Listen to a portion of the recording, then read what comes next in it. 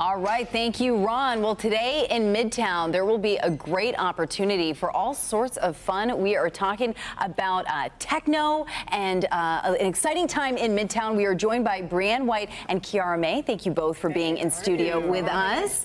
Uh, we are talking about, uh, let's talk about the event in Midtown. What do you want us to know? A lot of techno, right? Yes, techno, house music. We're going to have an artist sale. Brianne is one of our featured artists. We'll have five artists there. It's going to be very, very fun. I love that logistics. Where is it? What time yes. is it? So it's in the Selden Courtyard. It's from 3 to 9 today. Um, it's 656 Selden. Barcade will be out there. We'll have Condado's Tacos. It's going to be amazing. Okay, let's talk about some artistry here because we're yes. talking fantastic photography. Yes. We can't take our eyes off of some of these images. Thank you so much. Thank you. So um, my name is Brianne White.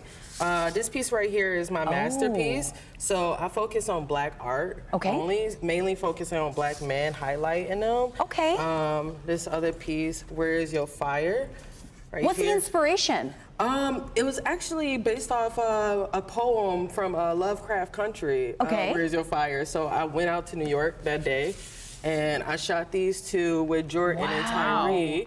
And then this other piece I have, okay. which is from my series we'll help you. Black Man. This is gonna require some Turn. unveiling. Ooh. So I don't know how y'all want to see Come this. over here. Wow. Come over here. Yeah, Come over here. So there we go. There so you go. Wow. I have okay. like art for sale today. Um, so I shot this in the sand dunes in Michigan. No way. Yeah, so I go off-roading a lot. Oh my. So I was like, let me create something beautiful that like I can like like I want to want people to see. So it moves you. Yes, it yes, moves you. Yes, what do you love about festivals like this, where you get a chance to showcase people. some of your work? I love people. I do art for people. I shoot for people. I love stories. I love making like conversation with people.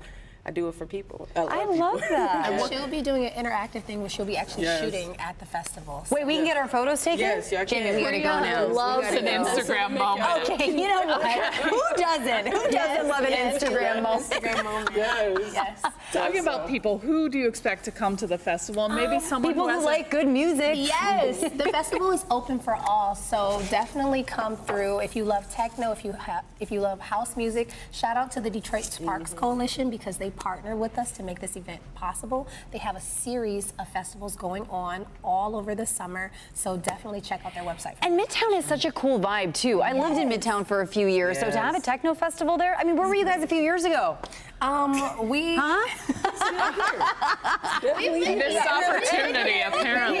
I gotta make it down. I gotta make yes. it down. Detroit is giving me Chicago vibes. There are Yay. festivals. Well, I'm telling you, the festival scene from yeah. when I lived in Chicago seems to be I can see it. I can see that. But nobody does it like Detroit. That's right. That's the thing. Nobody does it like Detroit. No disrespect. No disrespect. I'm a Detroit lover to the day I die. Yeah, that's so right. Fair, that's right. All right, ladies. Thank you both for being in studio so with much. us. Uh, between the techno and the photography and just all the great people and food and music, yes. yes. Midtown's going to be the place you want to be. Yes. I love this. Thank yeah, you. we're going to leave Thank you with you. this. Thank you for joining us. Let's check in with with McGeorge. Hey, Doc. Look at some of this. There we go.